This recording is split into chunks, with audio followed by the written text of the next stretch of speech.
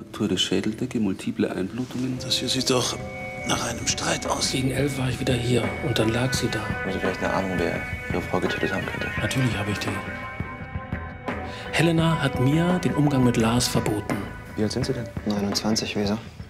Du bist 15, oder? Sie können es vielleicht nicht verstehen, aber ich liebe Mia. Also hat Helena sie vor die Wahl gestellt. Entweder sofortige Trennung oder eine Anzeige gegen Lars. Der Ex-Mann Ihrer Frau sitzt gerade eine Haftstrafe ab. Ja, wegen Vergewaltigung. Als ich nach Hause kam, stand er einfach vor der Tür. Warum hast du mich nie besucht? Mama hat es mir verboten. Hat deiner Mutter nichts angetan. Helena Härte ist nach der Vergewaltigung zu ihrer Gynäkologin Dr. Manuela Lenz gefahren. Sie ist die Schwester von Helena Härte. Medizinisch gesehen war das eindeutig. Wie erklären Sie sich dann, dass Martin Seiler immer noch an seiner Aussage festhält? Er hat recht. Wir sind beide betrogen worden. Sie um ihren Vater, ich um meine Freiheit. Ralf und Martin waren Geschäftspartner. Die Anwaltshonorare haben ihn ruiniert. Haben Sie sich nie gewünscht, sich an Ihrer Ex-Frau zu rächen? Das ist interessant.